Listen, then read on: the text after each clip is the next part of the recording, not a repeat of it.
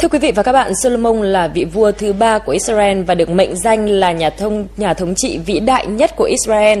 Ông cũng đồng thời là vị vua khôn ngoan, thông thái và giàu có nhất của mọi thời đại. Bí quyết du âm đạt được đỉnh cao là gì? Chúng ta sẽ cùng tìm hiểu thông qua cuốn sách Bí mật của vua Solomon, bảy nguyên tắc thành công về tài chính của người giàu nhất trong lịch sử nhân loại. Solomon sinh khoảng năm 974, mất năm 931 trước công nguyên.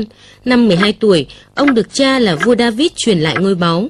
Trong những ngày đầu tiên lên ngai vàng, bị hối thúc bởi nỗi sợ hãi về sự non trẻ của mình, Solomon cầu xin Chúa Trời ban cho mình một món quà.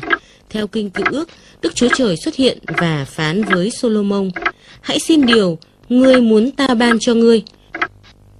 Ông có thể xin mọi thứ, nhưng bạn thử nghĩ xem ông đã cầu xin điều gì. Không cầu xin có thêm tiền bạc hay quyền lực. Những điều Solomon cầu xin thật là khác thường. Ông xin Chúa Trời ban cho mình sự khôn ngoan. Cảm động với lời cầu xin đó, Đức Chúa Trời đã không chỉ ban cho Solomon sự khôn ngoan mà còn cả sự giàu có, vẻ vang hơn bất cứ người nào trong lịch sử. Người ta nói, ngay cả giá trị tài sản của ông đã được điều chỉnh lại cho phù hợp với tình hình lạm phát hiện nay, thì Solomon vẫn là người giàu nhất trong lịch sử.